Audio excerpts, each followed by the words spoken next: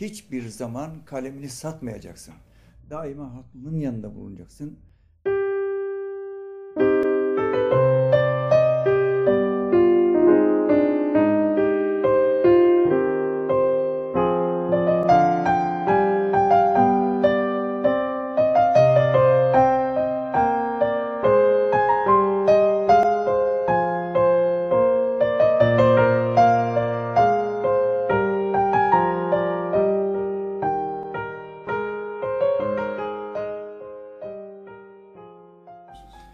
Yüksel Balcı, Ödemiş Doğan Haber Ajansı ve Ege TV'nin temsilcisiyim. Ee, 1938 yılında Kırşehir'de doğdum. Çocukluğum Ödemiş'te geçti. Ve Ödemiş'i kendi memleketim olarak kabul ediyorum.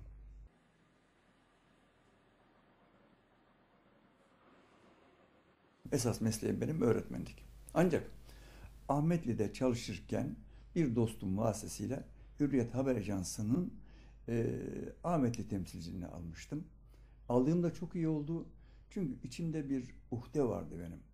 Böyle fakir insanları, e, ne bileyim ben, dertli insanları, insanların derdine çare e, aramak için içimden öyle bir uhde vardı. Bunu gerçekleştirmek için en güzel yolun gazetecilik olduğuna inandığımdan ben gazeteciliği tercih ettim. Bir iş günüm ben ancak şöyle anlatabilirim. Önce akşamdan yarın yapacağım haberin mutlaka bir şeyini yaparım, hazırlığını yaparım. Defterime yazarım, yarın şunları yapacağım. Sabahleyin kalktığımda ve giderim o şahısla e, haberimi yaparım.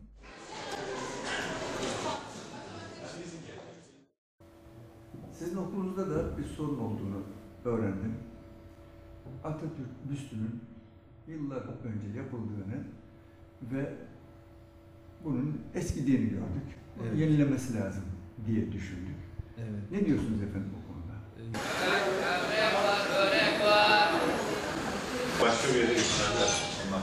Ne zaman gelir katılıyorsun Yarından sonra geldi galiba. Ha bu hafta gelir yani. Hı hı, Tamam. yarından sonra. Kolay gelsin arkadaşlar. Sağ olun, hoş geldiniz. Teşekkür ederim. Şey var. Ee, ben teşekkür ederim abla.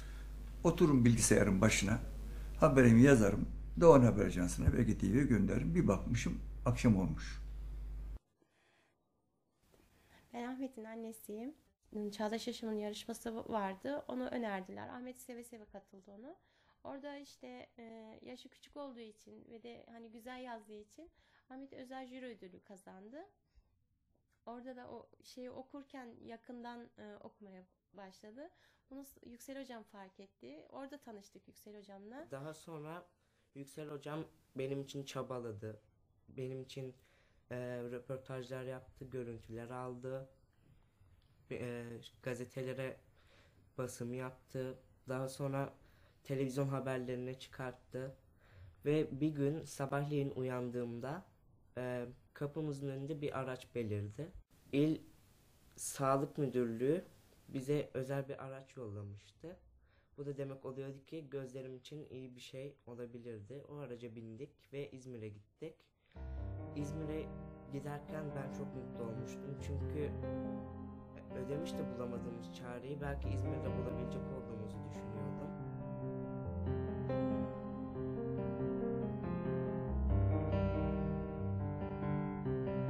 Ahmet benden şu ana kadar belki de tıp tarihinde e, hiç örneği görünmemiş en ilginç randevu alan hastadır aslında.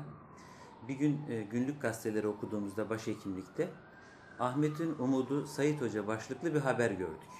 O Sayit Hoca'nın ben olduğundan bile haberim yok çünkü Ahmet'i de tanımıyorum. Ama haberin detaylarını okuyunca aslında bir göz hekimine ulaşma ihtiyacı olan, e, doğuştan bir göz hastalığı nedeniyle görmeleri az ama okumaya çok meraklı ve kitap okuma rekorları kırmış bir Ahmet Giden isimli Ödemiş'te yaşayan bir çocuktan haberim oldu.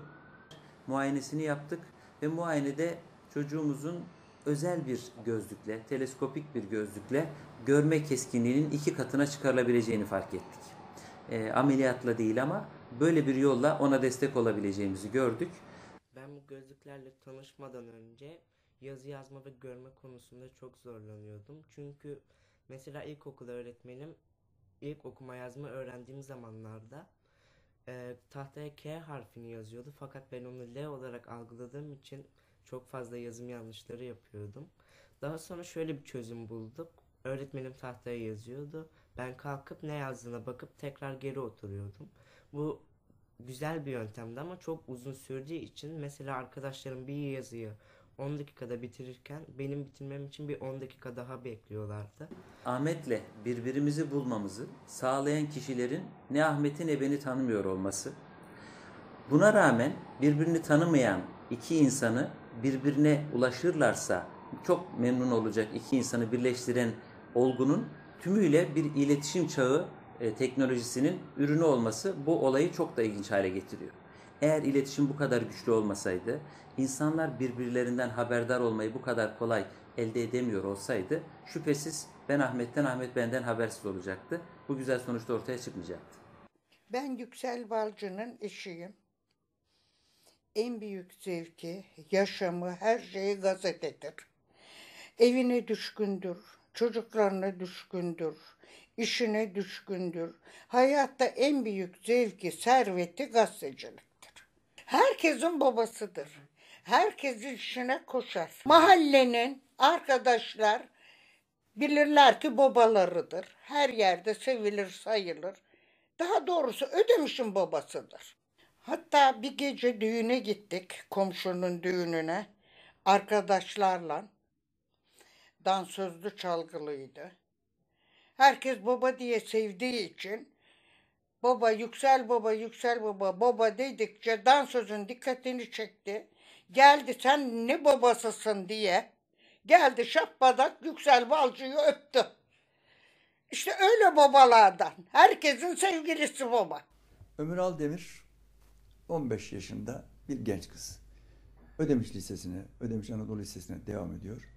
Ama bu çocuğu arkadaşları veya annesi her gün okula e, getirip götürüyor. Çünkü çocuk çift umrikli olarak dünyaya gelmiş.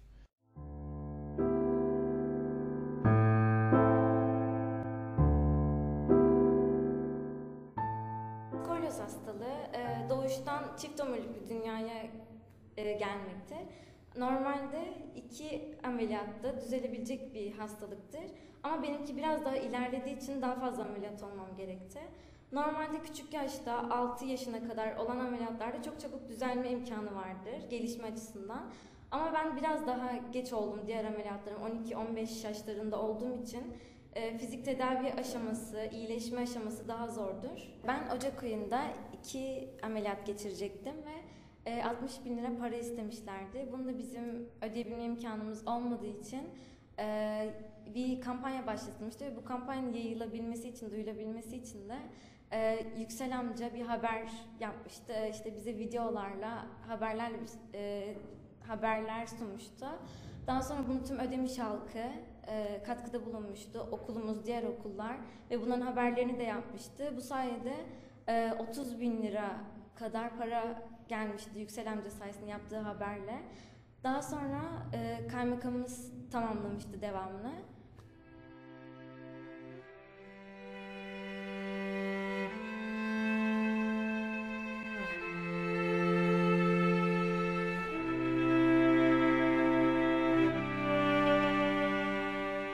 Asansör olmadan önce benim zaten ameliyattan önceydi. Yani yürümekte çok zorluk çekiyordum. Merdivenlerden inip çıkmam. Hani teneffüsleri zaten çıkamıyordum hiç çünkü zor olduğu için. Daha sonra asansör yaptırıldı. Asansörü kullanırsın bakalım.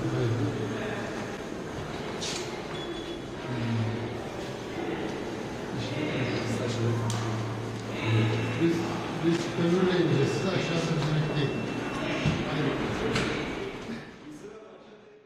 Şu an tekerlekli sandalyede olduğum için sınıfıma rahat gelip gidebilmem, diğer sınıflara veya teneffüslere çıkabilmem konusunda bana çok yardımcı oldu.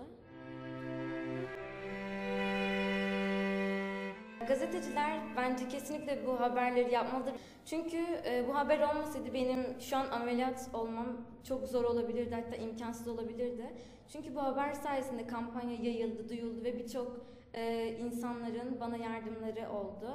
Ee, Birçok hastalığı olan insanlar e, şifalarını bula- bulabilmeleri için bence bu tarz haberler kesinlikle yapılmalıdır. Yardım gelebilmesi için. Ee, ve daha insanların daha çok duyarlı olabilmeleri için bence bu tarz haberler kesinlikle yapılmalıdır. Efendim ben 6 yaşında babamı kaybettim. E, bu da bana gerçekten o yaştan itibaren şunu öğretti. Fakirlerin, efendim dar gelirli insanların, haksızlığa düşmüş insanların her zaman müdafasını yap. O yaşta benim kafama bu girdi. Devlet Hastanesi operatöründen Sayın İsmet Emeklioğlu beni telefonla aradı.